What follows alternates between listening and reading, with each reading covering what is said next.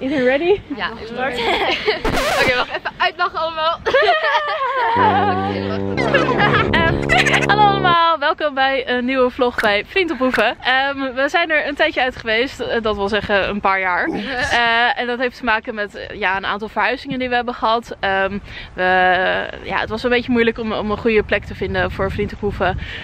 Waarbij eigenlijk nou ja, de paarden zo konden leven als, als ik dat graag zie. En waar ook de, de lessen gewoon door konden gaan, waar ik ook ponykamp kon doen. En, dus dat was een beetje een zoektocht. Maar we zitten nu op een hele fijne plek hier op Bij Almere. Ja. Nou, we gaan nou even een, een voorstelronde doen. Er zijn ook nog twee paarden bijgekomen sinds de vorige vlog. Dus die gaan we ook aan jullie voorstellen. En allemaal nieuwe meiden om voor te stellen. Dus eh, welkom bij deze nieuwe vlog.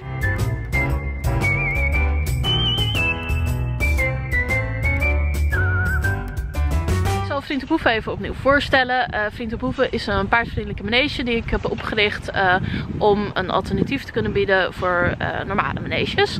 Ehm, dus hier hebben de paarden het, het goed. Ze hebben een goed leven buiten de les om. En ook in de lessen gaan we met respect met de paarden om. De paarden mogen hun eigen mening hebben. Daar worden ze niet voor gestraft. Dat betekent niet dat de paarden altijd een zin krijgen. Want dan zouden ze dus de hele dag alleen maar staan te eten. Ga je leuke buitenrit. Nou, sta je dus een uur te glazen. Dat is nou ook weer niet de bedoeling. Eh, ook niet gezond voor de paarden trouwens. want beweging is eh, heel goed voor ze. Beter dan aan de instructeur eten. En wij zitten hier op een hele bijzondere plek. Namelijk eh, in Oosterwold bij Almere. En eh, hier zijn allemaal zelfbouwhuizen. Dus mensen kunnen hier een kaal kavel kopen. En dan gaan ze daar vervolgens hun eigen huis op bouwen. Moeten ze wel alles zelf regelen. Eh, dus je eigen riolering moet je regelen. Je eigen elektra moet je regelen. Je eigen watervoorziening.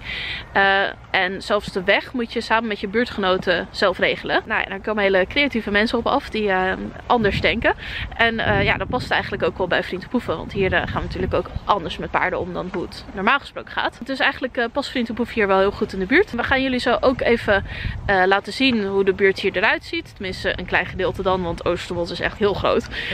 Dus we gaan een klein gedeelte van Oosterwold laten zien. Dan gaan we ook wel even bij Tila en Jola en Huizen langs. want die zitten hier vlakbij. Laten we even zien ja, hoe, hoe het hier naartoe gaat, hoe het hieruit ziet. Ehm, maar eerst gaan wij eh, de meiden aan jullie voorstellen. Want ik heb hier een aantal gezellige meiden achter me. Nou, ik ben dus Stila en eh, ik woon hier in de buurt. Ik ben 14 jaar. En, en wel- welke paarden vind je het leukst? Oh, eh, allemaal. Maar, maar mijn top 3 is Spence, Rosa en Pepper. Eh Spence is zo lekker ondeugend. Dat is gewoon mijn maatje. Roosje is gewoon zo'n schatje. En Pepper is gewoon lekker wild. Ik ben Yoda, ehm, ik ben 11 jaar en ik woon ook daar ergens. Gaan we zo laten zien. en ehm, mijn favoriete paard Billy. Dus. Die gaan we zo ook voorstellen. Hi, ik ben Bobby, eh, ik ben 11 jaar oud en ik woon ehm, in Nobelhorst, dat is hier vlakbij. En mijn favoriete eh, paard is Burl, dat is ook mijn favoriete pony. Ik ben Kelly, ik ben 11 jaar en ik woon in Stripwaldenbuurt. Ehm mijn, als ik moest kiezen tussen favoriete pony, zou ik toch Spencer kiezen. Zo lekker ondeugend en wel toch ook heel lief. En ehm, we zijn allemaal vrijwilligers. Dus Ja, allemaal. Ja, en verzorgers. En, en soms en verzorgers. Ja. verzorgers, wij niet, maar vrijwilliger. ja, yeah. Oké, nu gaan we de paarden voorstellen. In de eerste eh, vlog eh, had ik de vijf paarden die we tot zover hadden al voorgesteld. Maar er zijn twee nieuwe paarden bijgekomen. Die zal ik als eerste voorstellen. Dit is Rosa. Eh, Rosa is een 11-jarige Maddie. En zij is half kwarder, kwart fjord en kwart Andalusier. Dus dat is best wel een vreemde combi. Eh, Rosa is een heel enthousiast dier. Heel erg eh, voorwaarts. Houdt ervan om lekker bezig te zijn. Houdt ook erg van snoepjes en eten. dus eh, ja, Rosa is erg leuk om mee te werken. Maar je moet wel van een beetje tempo houden. Want nou ja, als je liever met een rustig paard bezig bent, dan kun je met Rosa de tempo misschien wel een beetje schrikken. Want ze is erg eh, snel. Dit hier is Billy. En Billy. Billy, eh, ja, haar ras is eigenlijk onbekend. Ze komt uit Spanje. Eh, dat is ook nog een heel verhaal, maar dat komt in haar eigen voorstelvideo wel. Want er komt nog voor elk paard een voorstelvideo apart. Billy is nu 6 jaar oud. en Billy en Rosa zijn allebei nog niet zo lang bij ons. Die zijn nu, eh, ik denk, Rosa eh, drie maandjes en Billy vijf maanden ongeveer. Bur! Bur die uh, is natuurlijk al langer bij ons. Die hebben jullie al eerder gezien in de vorige video's. Uh, en nou, uh, Bur is 21 jaar oud. en ze is half Shet en half Welsh.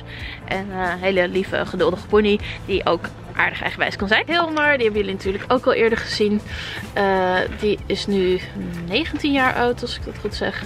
En hij is Appaloosa, zoals je kan zien. Ja, hij is ook uh, heel erg lief en betrouwbaar. Maar wel een beetje eenkennig nog. En dat heeft met zijn verleden te maken. Uh, dat zal ik ook nog in zijn eigen voorstelvideo uitleggen. We hebben hier een hele mooie plek gecreëerd op Oosterwold. En. Dit hier is het voorpleintje voor de paarden. Dus hier zo zijn de hooibakken en de hooiruif. Daar kunnen ze lekker eten. Dat kunnen we ook dicht doen.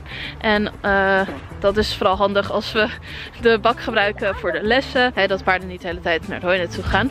En de meiden zijn hier lekker aan het doen. Oh, hallo. uh, dit hier is dus onze uh, rijbak. Die hebben we nu, ik denk een week of vijf of zo. Iets meer dan een maand denk ik. Hebben we deze bak. En die heb ik uh, samen met uh, mijn vriend aangelegd hier. Dat was me toch een klus joh. dat viel niet mee. Ja, maar het mag er, mag er zijn nu. Het is een mooie ruimte geworden. Fijn voor de lessen. Heel stuk beter dan hoe we het eerst deden op buitenrit of op de wei. Dan hebben we hier de brug. Via deze brug kom je in het stalgebouw. En die staat ook altijd open voor de paarden. En dan kom je hier via de brug, kom je zo het stalgebouw in. En dan heb je hier de kantine met de warmtelamp en koelkastjes en de banken. Hier zitten we altijd gezellig te chillen met z'n allen. En drinken. Ja, ja. En hier zo hebben we de zadelkast. Kijk, onze zadelkast. Alle, zadeltjes, halsters en hoofdstellen voor de paarden. Uh, dit is Spencer. Spence die is uh, 16 jaar oud nu. En Spence is nogal een draakje. Uh, Spence heeft ook een heel eigen verhaal. Dat, hij krijgt ook nog een aparte voorstelvideo. Het hooihok. Ik moet binnenkort weer hooi halen, want het begint weer op te raken. Vanuit de stalgang kom je zo de stallen in. En deze stallen waren eigenlijk niet geschikt om als inloop te gebruiken. Maar daar heb ik wat op verzonnen. Want die kan wel hier aan de achterkant open. En dan kan, kunnen de paarden hier gewoon naar buiten lopen. Hebben ze hier ook nog een hooibak. En een automatische drinkbakje. Die hangt daarachter. En dit is Pepper, aka Ronja. Want um, Pepper is al best wel een lange tijd bij ons. En uh, ze heeft heel lang twee vaste verzorgers gehad. Daarmee ging alles goed. Um, maar nou is haar verzorgers kwijt. En ze vindt het eigenlijk toch echt niet leuk om de lessen te doen. Telkens met verschillende mensen. Dus daarom krijgt Pepper nu een nieuw huisje. En dat is wel bij Jasmijn die erachter staat. En dan gaat Pep ook een nieuwe naam krijgen. Namelijk Ronja. Nou ja, ik vind zelf dat Ronja gewoon goed bij haar past. Hele mooie naam voor dit mooie paardje. Dus daar zijn we allemaal heel blij mee dat Pep een leuk nieuw huisje heeft. Uh, ook wel een beetje verdrietig natuurlijk, want het is altijd jammer als een paardje weggaat. Maar nou ja, dit is trouwens wel de eerste keer ooit dat er een paard bij mij weggaat. Dit is Jerome. Jerome is uh, een uh, ruin van nu, moet ik even goed denken, hoe oud is Jerome? Jerome is nu 9. En hij heeft een heel erg lief en zachtaardig karakter. Heel erg geduldig. ja, eigenlijk alle onzekere en beginnende ruiters die voelen zich helemaal thuis op zijn rug. Dan zijn we er net dus uit die stal gekomen. Hier de paddock in. En dan kan je hier de andere stal weer in. Kan je doorheen lopen. En dan kom je in de stalgang. Uh, dan we hier ook altijd netten met strovers hangen. Voor als het hooi op is, kunnen ze altijd nog stro knabbelen. En uh, ook hebben ze ook vooral takjes hangen hierboven ook. Uh, dat is ook meteen onze soort van kerstversiering. Misschien kunnen we nog, joh, laten we wortels aan touwtjes knopen. En dan als kerstballen eraan ophangen. Ja, maar eigenlijk... eigenlijk... Ja. Oh, ik heb lichtjes. Kom. Eigenlijk wil ik wel als het kerst wordt, doe ik al kerstversiering. ik, ik heb kerstlichtjes liggen, die kunnen we wel ophangen. Oké, okay, wij lopen hier nu over de weg uh, van Oosterwold. Dit is de Oeverwolweg. En zoals je ziet is alles hier nog volop in bouw. Alle huizen zijn hier nog ja, in opbouw. Er zijn heel veel mensen die bouwen een huis zelf. En die zijn er een paar jaar mee bezig. En in die jaren wonen ze dan vaak in uh, staakeravens, zoals hier. Um, en hier achter ons, dit wordt stil haar huis. Daar wonen ze nou nog niet in. Maar uh, nou, dat zal denk ik niet heel lang meer duren. En dan zijn we hier uh, bij Jolderhuis. Dat zie je hier zo op de achtergrond. En hier zo zie je ook nog een grappig huisje. Een soort kasteelachtig idee zit tussendoor. Ja, er zitten kasten voor, maar er zit een soort poort tussen. en hier zo ook nog een heel uniek huis met een heel scheef dak en zo. Echt een heel leuk ontwerp. Dus uh, ja, allemaal hele bijzondere huizen hier op Oosterwold. En dat komt dus doordat mensen het zelf mogen ontwerpen. Uh, je moet wel gewoon een vergunning hebben en zo. Maar verder mag je ongeveer zelf weten wat je neerzet. Als het maar ook ecologisch verantwoord is. Yes.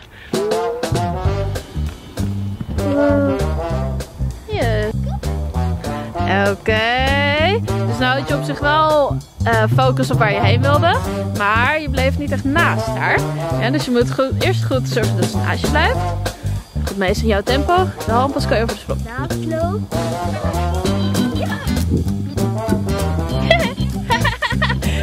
Als jij nou ook door was gegaan.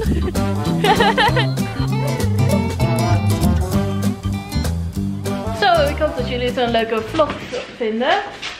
En dat, eh, dat jullie een beetje een idee hebben van hoe het hier gaat. En eh, ik hoop jullie weer te zien in de volgende vlog.